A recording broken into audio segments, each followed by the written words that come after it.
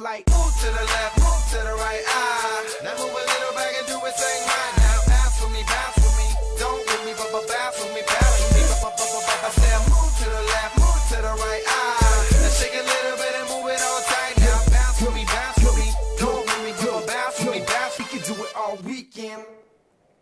Ben ritrovati con il nostro diciannovesimo appuntamento con Bergamo Canestro, questo magazine settimanale con cui cerchiamo di dare uno sguardo a quella che è la realtà della palla a spicchi nella nostra provincia e non solo. Vediamo subito introdurre i nostri due graditissimi ospiti in studio odierni e sono, vado in ordine di età, va bene? Quindi Luca Gamba, non diciamo che... Sì, possiamo dirlo perché tanto. Un, un giovane Luca Gamba. Un giovane Luca Gamba, beh, vabbè. Eri giovane quando, cominci- quando finivo io. E poi Jacopo Borra invece Sera a tutti. della Remer.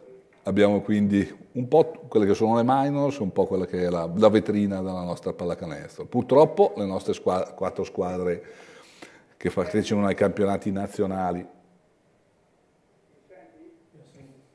scusate c'era stato un momento con la regia, abbiamo detto risultati negativi purtroppo, domenica la Remer è andata a perdere a Legnano, una brutta sconfitta possiamo dirlo senza tema di smentita, ci avevano un po' illuso i trevigliesi nel primo quarto andando avanti, poi però purtroppo si è spenta la luce e nel secondo tempo è stato forse una delle peggiori prove che abbiamo visto quest'anno della formazione allenata da Adriano Vertemati. Ieri sera poi invece è arrivata la sconfitta casalinga anche per la Bergamo Basket 2014, scon- superata in casa da Iesi, uno Iesi che ha visto Ashbrook, la guardia del Siena College New York, mettere assieme 47 punti in tutta scioltezza possiamo dire perché ha fatto 18 su 27 al tiro che non è proprio una performance di tutti i giorni giusto? Allenamento No. al tiro, si va bene. Eh? al tiro va bene l'allenamento da soli è anche di più che discreta giusto? è, è già lì buona e lì purtroppo è arrivata l'altra sconfitta per quanto riguarda invece le altre due, le altre due squadre nazionali è arrivata invece eh, la sconfitta per Costa Volpino e anche la sconfitta per ehm, la Fassigru e del Vais Albino, soprattutto molto grave perché è arrivata in un confronto diretto come quello con Bolzano. Torniamo però subito indietro e riavvolgiamo il nastro come si suol dire, parliamo della Remer Blue Basket 1971 Treviglio, la sconfitta con Legnano. Jacopo, l'impressione che hai avuto è stata la stessa che ho avuto io. Beh, eh, abbiamo iniziato facendo canestro, poi loro erano tutti chiusi in area e noi abbiamo smesso completamente di fare canestro. Nel seco- nella seconda frazione abbiamo proprio segnato 17 punti, mi sembra. E Un po' pochini per la si due. eh. sono chiusi a fortino in area, da fuori non si segnava mai e con Mosley che fa da ombrello è diventata dura. Un passo indietro possiamo dire rispetto a, a pochi giorni prima, quando durante l'infrasettimanale si era battuto, se non ricordo male, Rieti, con una prova convincente. Sì, un passo indietro, c'è anche da dire che le squadre secondo me sono differenti sul piano tecnico, anche di talento, però un passo indietro. Non era facile, ci si poteva provare e non ci si è riusciti. La classifica, adesso prego la regia per cortesia di rimetterla in onda, è ancora più compattata e malgrado 16 punti che dall'altra parte vorrebbero dire una situazione abbastanza, non dico tranquilla, ma in lotta addirittura per poter andare ancora nei playoff, da questa parte non bastano per non essere terzultimi. Non male, un po' strana diciamo, no? Sì, Diciamo- sì, siamo... Tolto diciamo Casale che obiettivamente è quella che fino adesso ha fatto vedere di avere un impatto tecnico e fisico superiore alle altre, sei d'accordo? Sì, siamo in zona playout, siamo a 4 punti dai playoff comunque, due partite vinte. Certo noi non dobbiamo assolutamente pensare a questo perché siamo comunque in pieni playout, piena zona playout, quindi dobbiamo prima di tutto tirarci fuori da, da salvarci, insomma, assolutamente. Una persona, che, una persona che ben conosciamo tutti, Alberto Mattioli, continua a sostenere che un po' il, la- il perno a cui è girata negativamente la, la stagione è stato un po' il tuo infortunio, Jacopo. Sì. Perché attorno alla, alla, alla coppiata di centri italiani, Borra, Rossi, era stato un po' costruito un po' tutto il resto della squadra. Purtroppo non è andata così, ti sei dovuto fermare ancora. La domanda adesso è lecita, come stai? La domanda è più che lecita, ho avuto problemi dopo la prima operazione, sentivo di non stare bene e infatti poi era vero, non stavo bene, non si era risolto il problema. Non era una fisi, ma non si No, dice. Non era un- una mia fissa.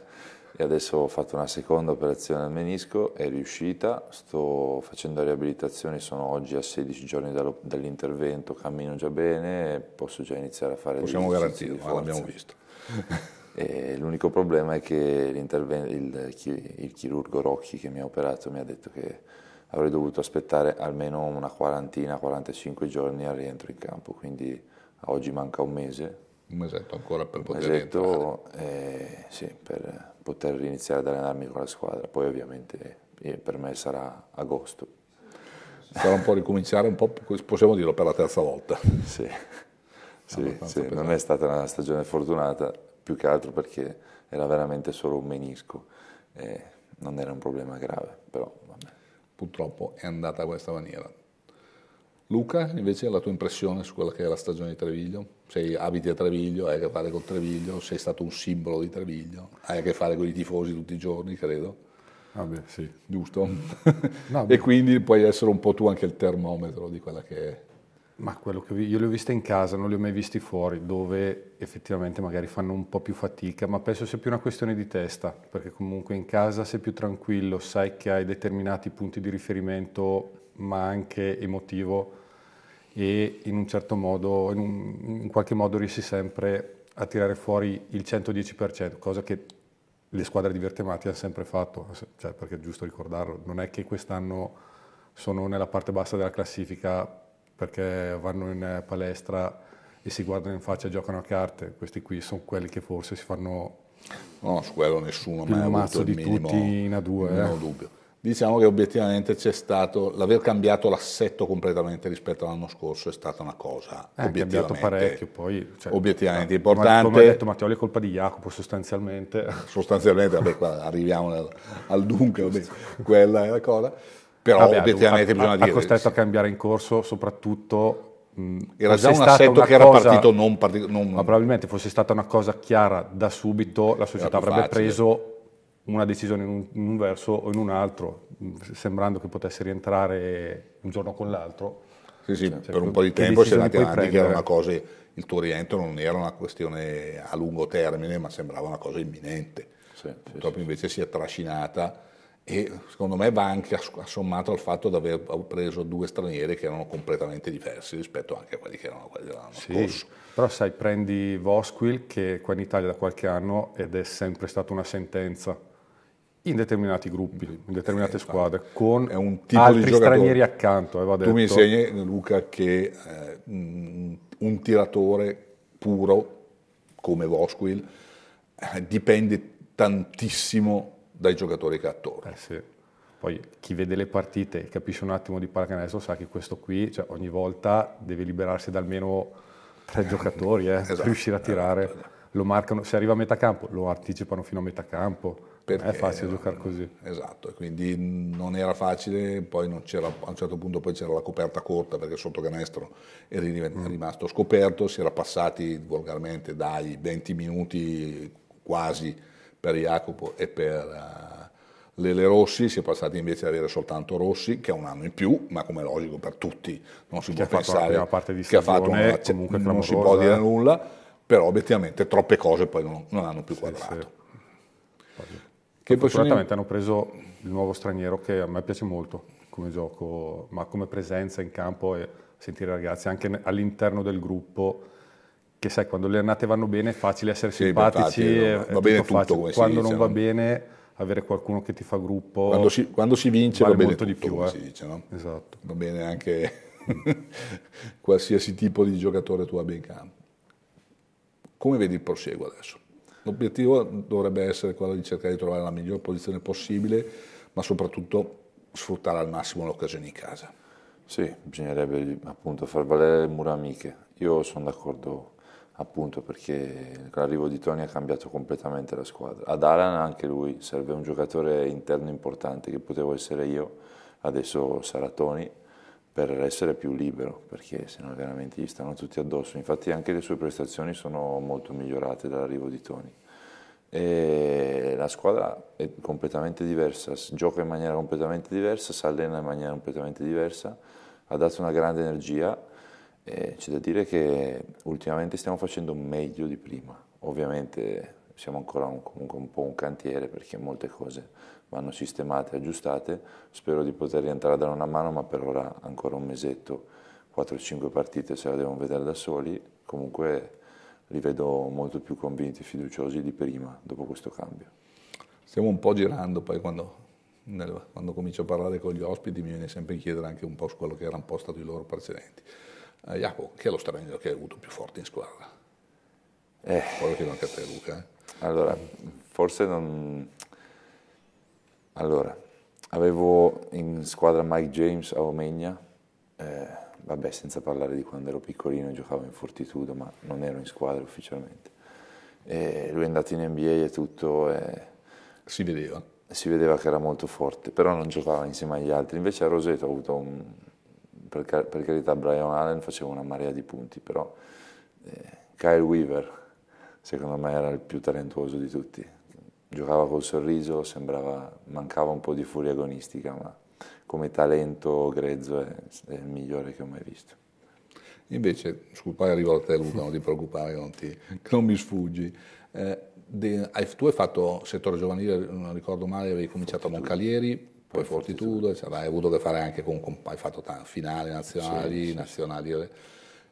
Io faccio sempre la domanda, qual è un giocatore di cui non, non pensavi arrivasse a un certo livello invece è arrivato, invece chi avevi invece la convinzione che potesse spaccare il mondo invece poi non ce l'ha fatta? Beh, ti dico la verità, della mia età di un anno più giovane, certo, così, ce, ne sono, ce ne sono tanti che non pensavo arrivassero dove sono arrivati. Alcuni sono amici, quindi mi spiace anche dirlo, però ad esempio Dada Pascolo, sinceramente sapevo, faceva, sem- faceva sempre bene a livello giovanile, quindi sapevo avrebbe fatto bene, ma mai come sta facendo. O anche lo stesso Anche perché non era un Baldi talento, Rossi. obiettivamente non era un talento atletico.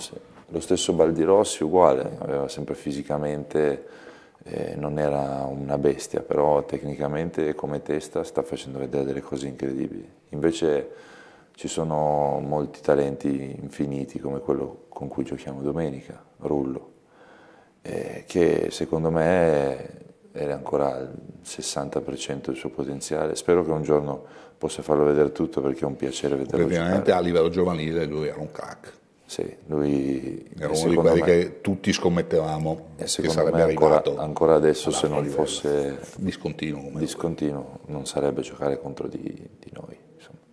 E andiamo adesso a Luca. Vabbè, stranieri ve ne ho avuto qualcuno, anche perché insomma. ho avuto gli anni in cui si Qualcuno- cominciava a poter prendere tutto quello che volevi e allora nel dubbio prendevano tutto quello, Quello che, si, poteva, poteva. sbagliandoli spesso. Vabbè, ho avuto Iuzzolino che sicuramente lì. da vedere tanta roba. Il primo Travis Mace a Pistoia, prima che si facesse male, che era a livello di Harry Williams, più o meno. Chiaramente Harry Williams secondo me è il miglior straniero altro, che ho visto, visto. contro cui ho giocato. E... Non me lo ricordo, prima, prima Benetton, poi Verona, se non Sì, ricordo male. esatto. giusto? No, prima Verona, poi Prima Verona, Benetton, Benetton, scusa. poi anche a Roma Anche e a- Napoli. Comunque un, Però bello, era un giocatorino, mica da, giocatore clamoroso. mica da, da Però ridere. come, come compagno di squadra, cioè, fa- a cui ho visto fare le cose più incredibili, Mario Boni.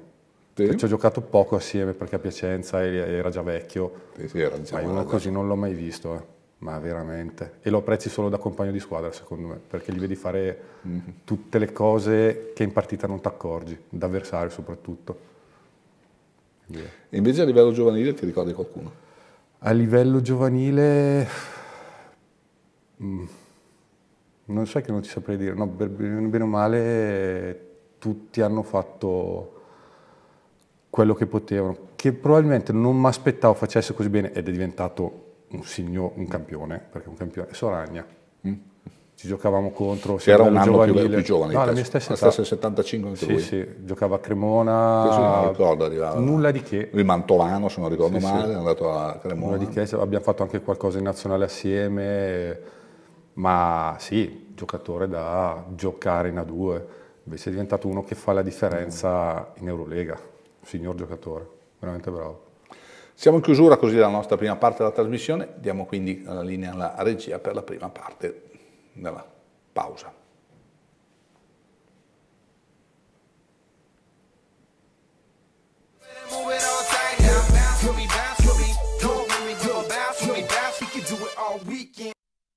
Torniamo in studio e vediamo l'altra faccia, come vuol dire, della A2 eh, maschile della provincia di Bergamo. Parliamo della BB14. Ieri sera eh, la gara interna con Iesi, si sperava che il doppio appuntamento casalingo dei gialloneri cittadini potesse portare alla seconda vittoria consecutiva.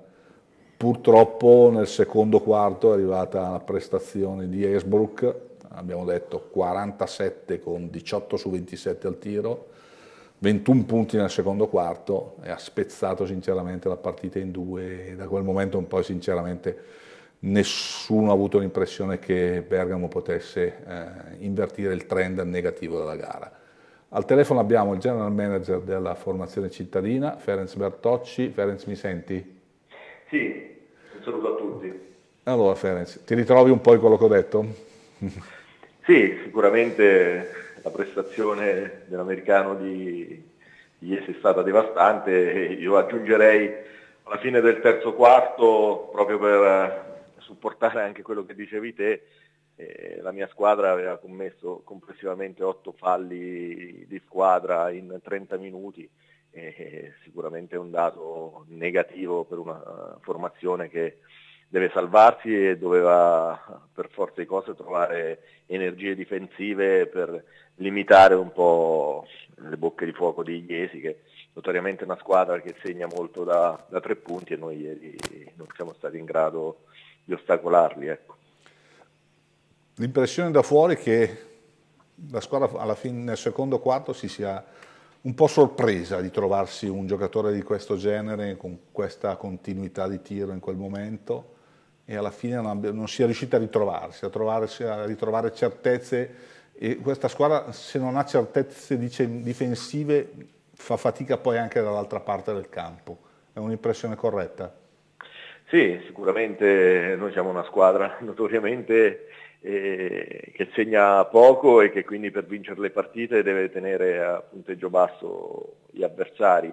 E questo ci siamo riusciti, non dico per vincere, ma eh, sicuramente per lottare in quasi tutte le partite spesso, ieri contro la formazione marchigiana purtroppo eh, è arrivata una prestazione corale assolutamente, assolutamente negativa, ecco, l'impatto già iniziale con la partita eh, non, non, dei migliori e poi sì, eh, sicuramente merito di Esbrook e eh, di, del coach Iesino, però grande demerito ieri davvero nostro perché non si può avere un approccio del genere a una partita. E dobbiamo resettare, domani torniamo in palestra e ci interrogheremo anche sui motivi per cui siamo partiti da subito male. Ecco.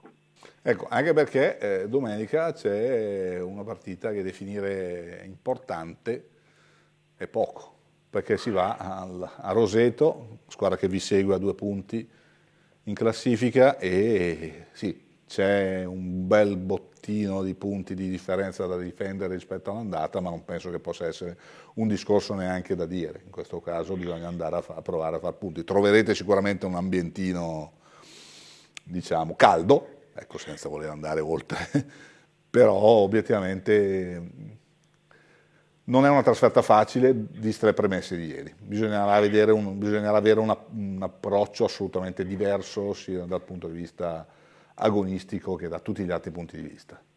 Certo, Roseto sicuramente oltre a seguirci è anche l'ultima della classifica, quindi eh, un motivo ancora in più di pressione eh, per quanto ci riguarda. È vero che all'andata disputammo un ottimo incontro contro di loro, soprattutto comunque negli ultimi minuti, perché fino a 5 minuti alla fine Roseto anche qua a Bergamo era rimasta abbastanza in scia, quindi oggi troveremo una formazione eh, diversa rispetto all'andata che nonostante le continue sconfitte sta dimostrando comunque di lottare fino alla fine con tutti, come a Piacenza anche domenica scorsa.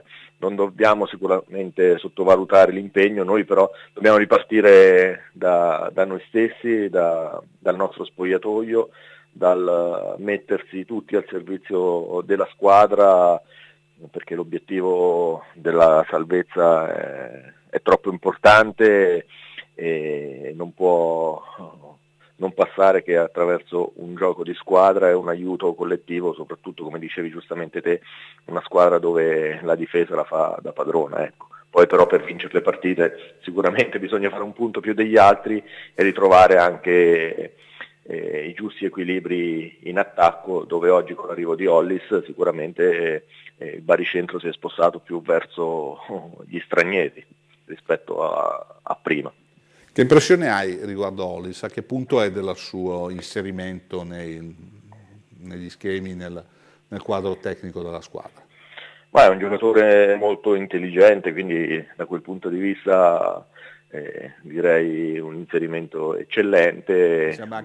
Sicuramente fa... persona mi è sembrato positivo per quel poco. Sì, sì, no, no, no, molto, molto propositivo. E e sta dando una mano a tutti, ci manca ancora un po' il ritmo partita perché eh, diciamo il periodo, l'ultimo periodo a Parese sicuramente il fatto di allenarsi a parte fa perdere un po' quella che è eh, come si può dire, eh, la fisicità e l'atletismo. Eh sì, il feeling con la partita lo perdi un po' eh, ed è quella cosa che c'hai soltanto giocando.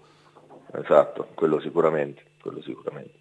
Eh, l'impressione invece è che bisogna, magari qualcosina ancora debba essere fatto dal punto di vista tecnico, visto che è cambiato l'assetto, adesso giocando con, spesso volentieri con tre lunghi, abbiamo visto che forse rispetto volta, alle volte precedenti non si è partiti con il terzo lungo, questa volta è partito cazzolato, ma forse l'assetto con eh, i tre lunghi, chiamiamoli intercambiabili, è quello che dà più, eh, più, più sicurezza, probabilmente con fattori che riesce a giocare sicuramente con un pochino più di difficoltà, ma è quello che ha più confidenza ad andare a giocare vicino a canestro. Sì, ci stiamo interrogando un po' su tutte queste, su queste dinamiche, eh, sicuramente oggi fattori che per noi era il secondo americano fino all'arrivo di Hollis è quello che magari può soffrire un po' di più la situazione. Eh, ieri bene Bozzetto che si sta confermando sempre giornata dopo giornata un lungo che può stare in questa categoria. Eh, sta sacrificando, si sta sacrificando sicuramente un po' Sergio che magari vorrebbe qualche minuto in più, però ripeto, il concetto nostro in questo momento è che bisogna mettersi al servizio della squadra, il coach eh, ha la nostra massima fiducia e, e lui sa che può far giocare la squadra come, come meglio crede, e quindi chi gioca più o meno, come, come, è capitato a Cazzolato, magari con Piacenza che veniva da un NE, poi si può ritrovare anche in quintetto se il nostro allenatore reputa che per quella partita è giusto cambiare l'assetto. Quindi ecco, confido nell'intelligenza della squadra e nella professionalità di tutti di mettersi al servizio di questa missione che è, che è dura e difficile di portare eh, Bergamo alla salvezza. Solano, secondo me eh, ha un potenziale fisico interessante, non ha ancora l'abitudine per giocare in una categoria, in un campionato difficile come quello della 2 di quest'anno che mh, tu hai più esperienza sicuramente, mi sembra che sia aumentato soprattutto nella qualità degli stranieri rispetto agli anni scorsi, Abbiamo, stiamo vedendo oggettivamente coppie di stranieri di buon livello, tanto è vero che pochissimi sono i rookie, e forse uno dei pochi è proprio Solano. L'impressione è che sia un giocatore ancora eh, che punta molto sul, sull'attacco, sul giocare uno contro uno, mentre a livello difensivo fa ancora un po' fatica a recepire quelle che sono le necessità per marcare giocatori sicuramente di alto livello come quelli che gli si stanno proponendo in questa, questa stagione. Sei d'accordo?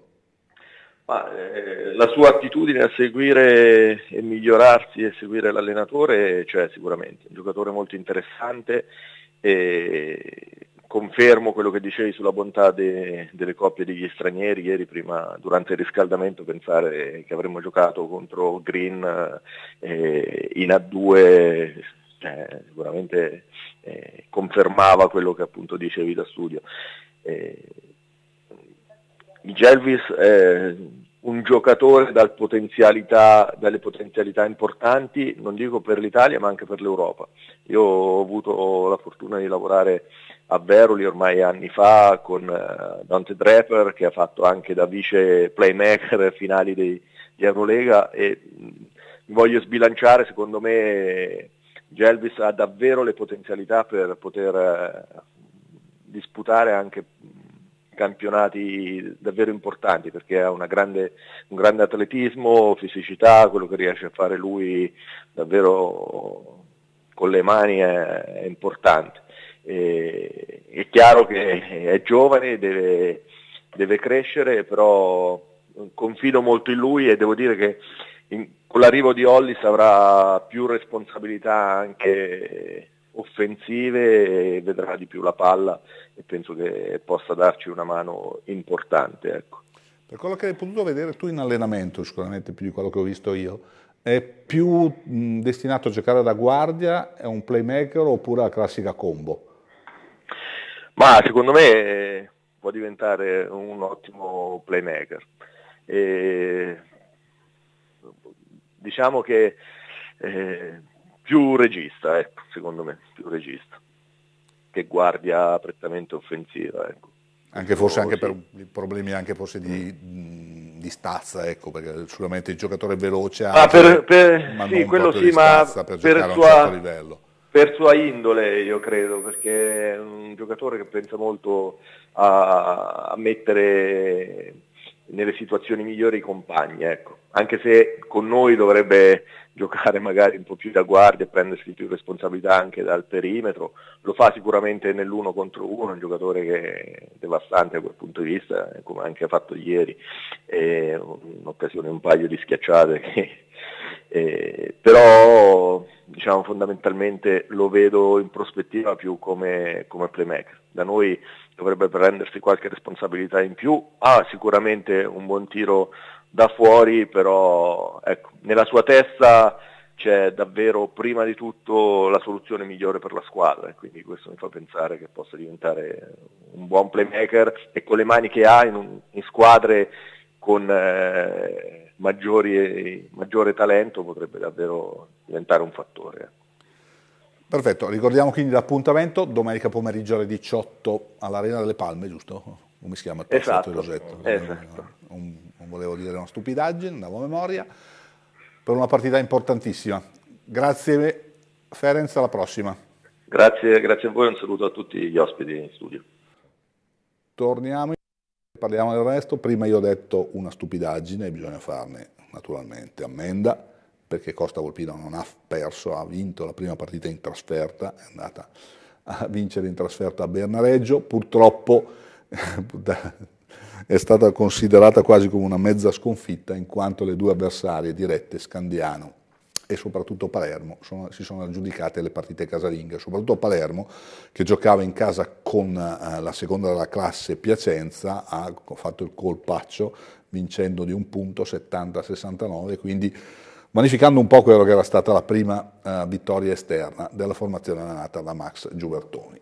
invece purtroppo a due femminili è arrivata la sconfitta per la, la fase 2 del Vice Albino, superata 6-8-6-2 a Bolzano, troppo discontinua la formazione allenata da Giuliano Stibiel, con soliti e poi problemi di percentuali e obiettivamente ha segnato un pochino di più del solito perché è arrivata almeno 62, però questa volta non ha tenuto in difesa e alla fine rimane quello che è il tredicesimo posto a pari merito con altre squadre e soprattutto a questo punto diventa fondamentale l'appuntamento di sabato prossimo in casa contro Pordenone, Pordenone che è una squadra satellite giovanile della Real Venezia, per cercare di strappare due punti, primo a una concorrente diretta, portarsi sul 2-0 sempre con, con le pordenonesi e cercare di continuare quello che è un po' il percorso positivo delle ultime gare interne, ricordiamo ha battuto nelle ultime esibizioni, prima Vicenza, poi Crema e obiettivamente ha fatto un passo indietro, ma soprattutto per il valore delle avversarie, nell'ultima uscita contro Costa Masnaga.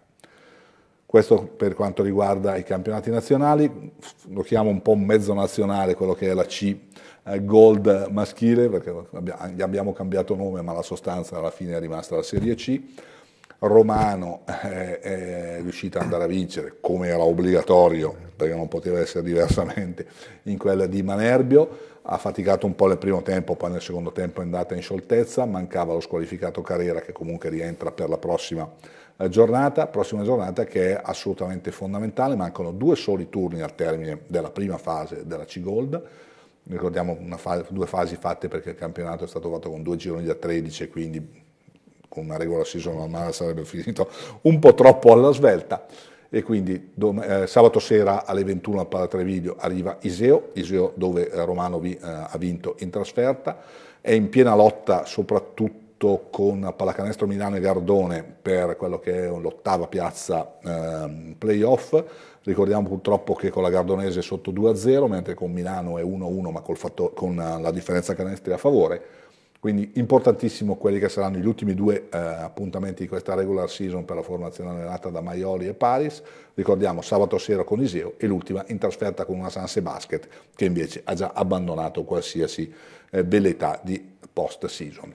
Chiudiamo così anche la seconda parte della nostra trasmissione e diamo quindi la, regia, la linea alla regia per la seconda pausa pubblicitaria.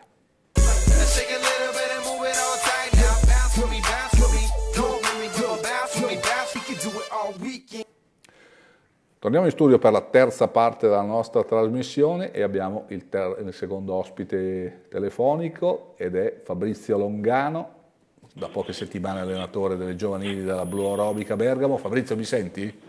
Ciao Germano, buonasera a tutti. Allora, abbiamo detto, eri nel tuo eremo di sofferenza sarda, in quel di Alghero, giusto? Beh, sofferenza mi sembra esagerato. Esatto, mi sembra quel ero, filo... Ero sicuramente era, interessato. Era ho colto l'ironia. Era assolutamente voluta la, la citazione e ti ritroviamo dopo l'esperienza Excelsior dell'anno scorso, positiva con la vittoria del titolo regionale, under 18 se non ricordo male, giusto? Sì, giusto. E riparti con Blu Aerobica con due gruppi, possiamo dire, abbastanza differenti. Sì. L'Under 15 e l'Under 14. L'Under 15 che paga un po' quello che è un'annata eh, a livello provinciale non particolarmente, come possiamo dire, qualitativa, mi consenti questo aggettivo, mentre sull'Under 14 ci, secondo me ci sono delle cose da poter, degli elementi da poter sviluppare. Mm, sicuramente le, le differenze che, che, hai colto e che in questo mese sto cercando di, di notare anch'io mm, mi ci posso ritrovare, però eh, concedimi che tutti e due i gruppi sono composti da ragazzi che hanno veramente tanta voglia di fare, quindi quello è un buon punto di partenza. Tornato con le giovanili a Bergamo, avevi fatto le giovanili diciamo tra virgolette regionali, sei tornato con le giovanili di eccellenza, non penso che hai trovato tanta differenza rispetto all'ultima volta che le hai fatte. No, onestamente no. Anche per... Qual è secondo te un po' uh, il limite che stai vedendo nella pallacanestro giovanile bergamasca e anche regionale?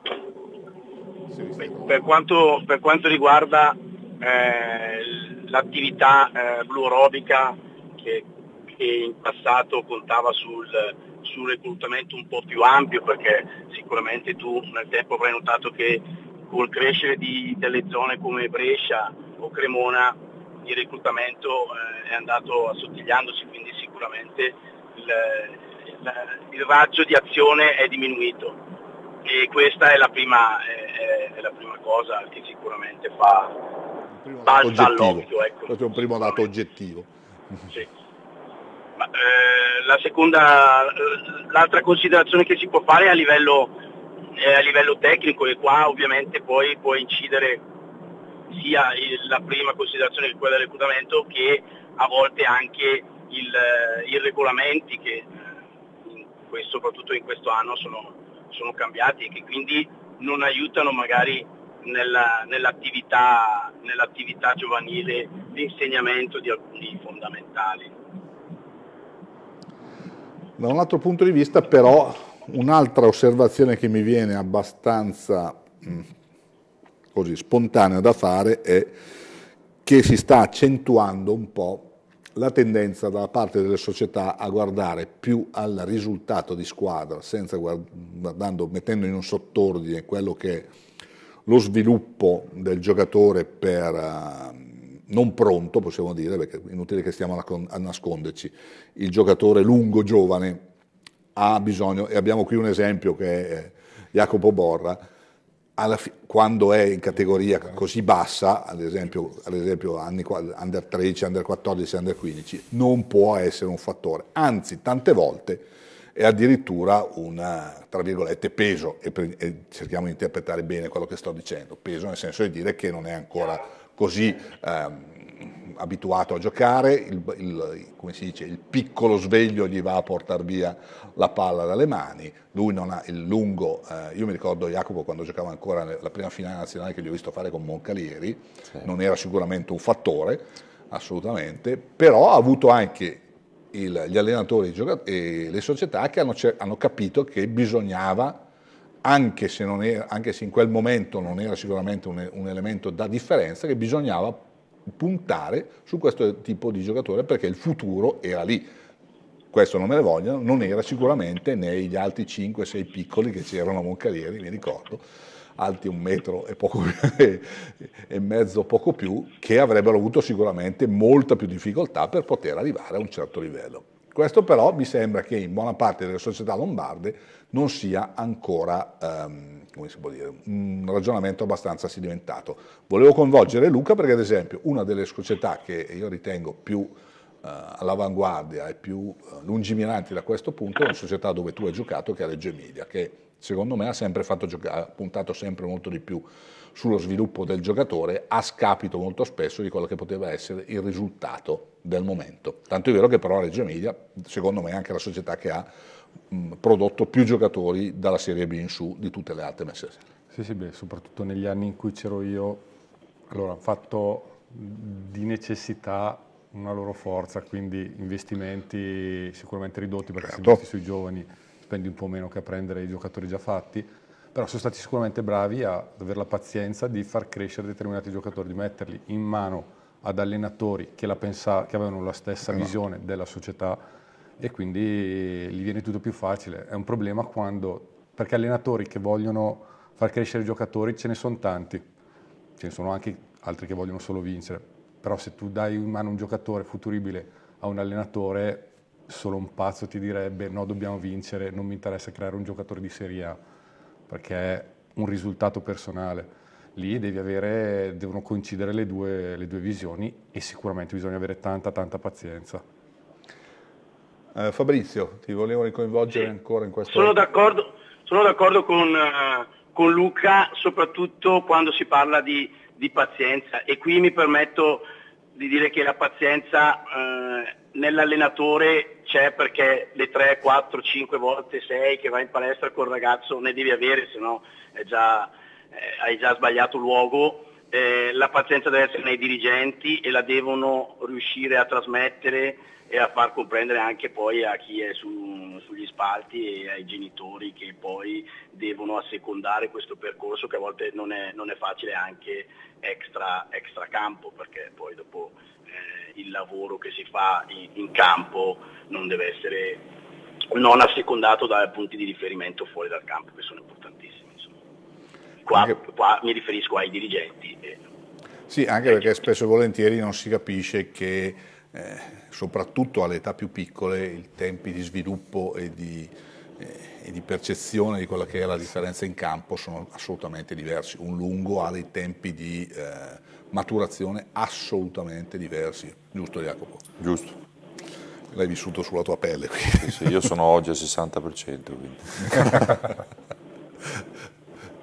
Comunque lo ricordiamo che lo stesso anche quando sei arrivato in Fortitudo sei diventato un giocatore di Fortitudo anche perché hanno avuto, come si può dire, la pazienza di costruirti eh, fisicamente. Non, non, eri sicuramente quello che sei adesso, quando, mi ricordo quando sei arrivato in Fortitudo, no. non eri sicuramente, eri molto alto, quello sì, sicuramente. Sì, sì. 1,8 m per 80 kg, se andava bene. Però, eh, sì. non eri sicuramente, però hanno avuto la pazienza di, eh, di, farti lavorare, di avere pazienza, di farti giocare e questo secondo me è una lungimiranza che troppo spesso viene dimenticata e dopo ci si lamenta perché eh, scusatemi adesso una, apro una parentesi che va fuori da noi, dopo ci lamentiamo perché i lunghi italiani non giocano, non sono pronti, eccetera, non abbiamo nemmeno la minima speranza, la pazienza per cercare di costruirli, è un po' difficile secondo me poi avere tutto, come si suol dire, la, moglie, la botte piena, la moglie ubriaca, è un po' difficile eh, riuscire a fare questa cosa. Fabrizio, volevo tornare invece su quello che è un argomento che sarà un po' di discussione nei prossimi mesi, Campionati elite sì o campionati elite no? Ah, bella, bella, domanda. Eh. Sicuramente campionati elite per quanto mi riguarda come, come esperienza eh, sì perché comunque alzano eh, il, il, livello di competizione alcune squadre che magari avrebbero mh, troppo vita facile nei campionati regionali eh, non riuscirebbero magari a fare un lavoro su dei giocatori che poi magari l'anno dopo potrebbero fare o provare anche l'eccellenza o la stessa squadra se dovesse essere un gruppo numeroso eh, con della qualità numerosa intendevo e quindi mm, perché, perché, no? Non, non vedo questo, questa preclusione. Però adesso io faccio un po' sì? l'avvocato del diavolo il fatto di aver instaurato i campionati elite ha portato anche a tanta dispersione di giocatori. È vero. In cui ci troviamo eh... magari squadre elite con uno o due giocatori interessanti e il resto magari giocatori di mediocre valore. Adesso non voglio andare a sminuire il tutto, quando invece forse sarebbe più auspicabile una maggiore concentrazione di giocatori in alcune realtà che possono può giocare e garantire anche un, un certo tipo di lavoro eh, sia tecnico che fisico per poter arrivare a un certo livello. Così mi sembra l'impressione che ci aveva in questi anni che i campionati elite spesso e volentieri fossero fatti più per gli allenatori che non per i, per i giocatori non, da...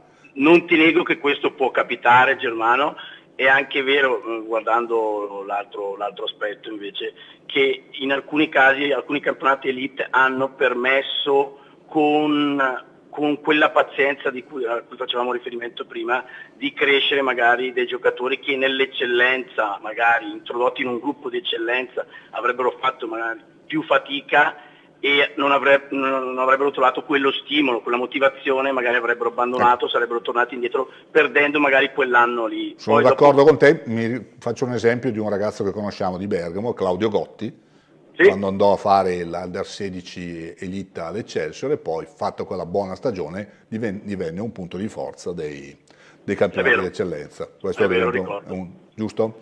Ricordo, ricordo, è vero. Luca invece? Nella formula di adesso non mi fa impazzire, ma la penso come te, cioè dispersione dei, dei, ragazzi, ma anche perché lì secondo me subentra il campanilismo delle società che non, non hanno interesse a, a, creare il ragazzo senza, senza capire che se un tuo ragazzo diventa un giocatore è solo pubblicità per te, anche se lo diventa in un'altra squadra, è partito comunque da te e per come adesso, cioè vedo, io faccio il provinciale con i miei e giriamo comunque già tutta la Lombardia e trovi squadracce che non hanno senso, ma come, come se ne possono trovare in elite se, se fatte in una certa maniera. In una certa maniera.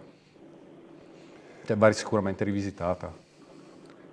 Invece per quanto riguarda l'esperienza che hai fatto una prima volta e che ripeterete se non sbaglio a Costa Volpino del CRL Lab? Allora, purtroppo quell'esperienza ancora non, non, sono riuscito a farla perché ah, è arrivato da, da, poco tempo, eh, non, ho, non, sono riuscito proprio con i, con i tempi a, a, partecipare, quindi appena avrò occasione saprò meglio argomentare questa risposta. Quindi però, tendenzialmente però ti sembra un esperimento interessante? Mi sembra sulla carta una, sì, un'idea interessante, eh, l'unica cosa che sto notando è che sono tanti gli impegni tra selezioni, lab, vengono, vengono coinvolti spesso, che può essere una cosa positiva, sicuramente poi ci sta tutta la gestione della settimana dei ragazzi che non è poi facile tra campionati eh, su annate a volte che possono fare anche doppi Doppi. impegni, quindi non so i 14 che lo giocano con i 15, più allenamento della selezione, più lab, insomma diventa interessante, eh, impegnativo e quindi ha bisogno di, una, eh, di un monitoraggio e di una preparazione della settimana attenta. Va bene, grazie Fabrizio, ci sentiamo Grazie. magari tra qualche settimana per fare un aggiornamento un po' della situazione. Grazie a te, eh, grazie a tutti, un Torniamo- saluto, buona serata. Torniamo in studio, Luca. Negli ultimi anni dalla tua squadra sono sempre usciti giocatori che sono andati in categoria superiore. Mi vengono in mente gli ultimi due, Macchi che è andato a Romano, Gabriele Stucchi che è andato ad Almine. Adesso ti, ti faccio fare, come al solito ti metto in difficoltà. Chi è il prossimo? Ma stiamo lavorando, beh quest'anno sono molto giovani eh, ragazzi, abbiamo Erba che sta facendo bene, ha avuto un Sì, mi momento avevi detto che a Natale c'è stato un momento, però mi sembra che sia tornato a pieno- però è a pieno tornato, a pieno eh, titolo. sì. Eh, abbiamo Badoni che è interessante, abbiamo Pirrone, il nostro playmaker, che è un 99, che fa poco canestro, ma ha una visione di gioco che è sicuramente da categorie superiori. Nel momento in cui Erba è rimasto fuori è esploso Grioni, quindi bene o male qualcuno Qualcosa ancora da venire a vedere di dici interessante potrebbe esserci. Poi dipende sempre dai ragazzi, perché se vengono in palestra a timbrare il cartellino non si porta a casa niente, ma loro. Se invece vengono con la voglia, Comunque, annuncio per tutti, sapete dove andare a vedere per- se volete trovare qualcosa per l'anno prossimo. no? Siamo in chiusura della trasmissione, grazie a, a Jacopo, Grazie a in voi. bocca al lupo, Crepi. contiamo di vederti in campo nei tempi previsti questa volta. presto, sì, sì, sì. Grazie a Luca, proseguo la stagione, poi ci vedremo ancora per vedere un po' di valutare come stanno andando le cose verso la fine. Il ringraziamento più grosso permettetevi a voi che ci avete seguito da casa, l'appuntamento è come al solito. La settimana prossima la raccomandazione è, la- è sempre la stessa, seguite le nostre squadre, soprattutto sui campi, ne vale sempre la pena. Grazie, arrivederci.